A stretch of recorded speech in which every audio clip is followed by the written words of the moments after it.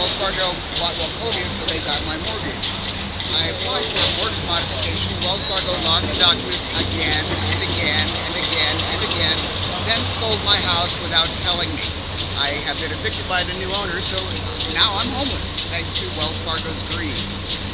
Wells Fargo, part of this community, have been part of this community for over, well over 100 years. Wells Fargo has to provide go away. What's your name? Larry Falk.